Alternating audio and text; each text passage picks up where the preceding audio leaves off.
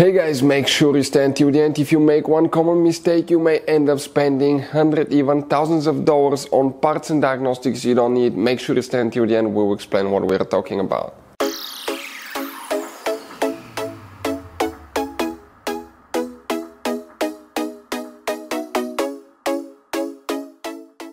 Hey guys, welcome back to World Mechanics. Thank you guys for watching and subscribing to the channel. Today will be super helpful video to any of you guys having a Chevy Tahoe or Chevy Suburban, that generation right here from year 2006 to year 2014. If you guys have one of those and if you need to find where the ECU relay, also known as ECM relay or PCM relay, that's practically the engine computer under different names. Stay with us, we'll explain where you can find it, where you can buy cheap parts, tools, fuses, relays at a good price, quick shipping, that way do not waste money and time.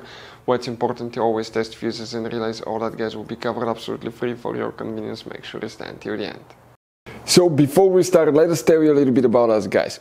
If you have a Chevy Tahoe or Suburban, practically they're built on the same platform. We'll be making a video about every single fuse relay in that SUV. Why? Because let's say you're down the road, you need to find where the fuse for fuel injectors, fuel pump, ignition coils is located. That way you can fix your SUV and be back on the road. We will have that information. You'll just spend a minute or two watching the video, fix it, and it will take care of that problem. Now, every single car we get here at the garage, we try to make at least two to 300 free repair videos.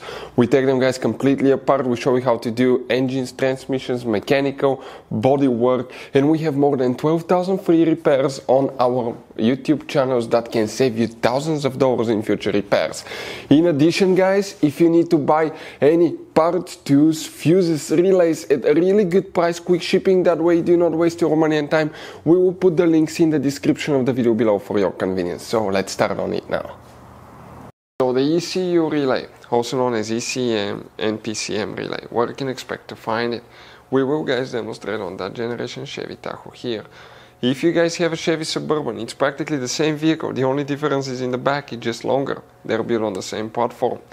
You have three different fuse boxes and today we're working just one that's right under the hood. So open the hood and facing the engine, under that cover right here you're going to have a fuse box. Open it guys and you will find the main engine fuse box that we have a layout that will look like this one here. Before we continue, let's explain quickly why it's always a good idea to test fuses and relays. So now why it's super important guys to test fuses and relays? Because often you may think you have a good fuse right? But uh, it could be guys a bad fuse. Sometimes it's really hard to tell. It's hard to see. You have different kinds of fuses. And each one of those guys let's say you think it's a good fuse but it's actually bad you may end up spending time money on parts and uh, repairs that you don't need. So always test fuses. It takes only uh, a few seconds. We'll put a link to a special video that will teach you how to test fuses and how to test relays as well. Relays are easy to test. Uh, that way you can eliminate that possibility for something uh, that uh, that's not necessary, guys. So check out the links will be in the description of the video below. So where is the ECU ECM relay? Now for some reason if you need to find the engine computer fuses we have the video on the channel ECU fuse check it out you'll be able to find it guys. Oh by the way if you need to buy any fuses, relays, parts, tools for Chevy Tahoe Suburban or any car at a really good price, quick shipping. We'll put the link in the description of the video below for your convenience, that way you do not waste money and time. If you look at that relay here, okay, that relay right there, that's the one that you need to check guys for the ECU, for the engine control unit, or, or in other words, the engine control module or engine computer. Hopefully the video will be helpful, thank you for watching, see you next time.